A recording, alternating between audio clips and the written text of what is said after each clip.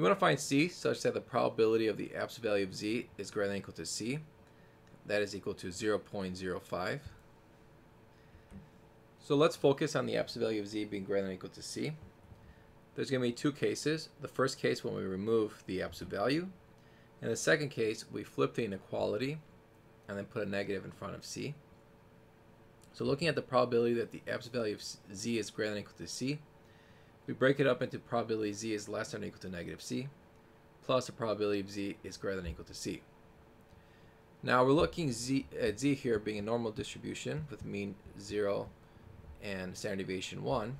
So this is going to be symmetric at 0. So if we're looking at the probability z is greater than or equal to c, that's going to be this area.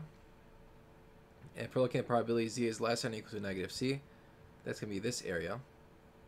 And because this is symmetric, finding this area is the same thing as finding this area. So this area right here is just the same thing as probability z is greater than or equal to c. So there's going to be two of those.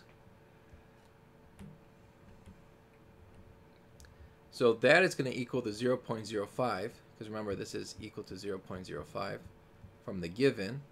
Dividing both sides by 2, we get the probability that z is greater than equal to c is 0.025. Now, again, here what we're saying is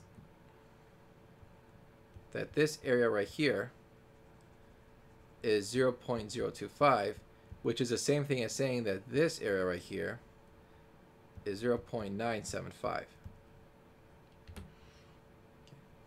So if we do the complement of 1 minus probability of z less than or equal to c is 0.025, we see that the probability of z is less than or equal to c is 0.975.